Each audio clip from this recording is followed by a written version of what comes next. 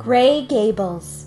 The grandest home in Summerfield's historic district is the Henry Clay Britton House, one of Guilford County's few remaining Queen Anne style mansions. Known as Gray Gables, this two and a half story home was built between 1898 and 1903 and is said to be named after Mr. Britton's late uncle who fought in the Civil War. The Brittons also owned the Mercantile store, which is now Summerfield Town Hall. In 2001, Patrick Jenks purchased the six and a half acre property and created the Gardens at Gray Gables, hosting weddings, receptions, and special events.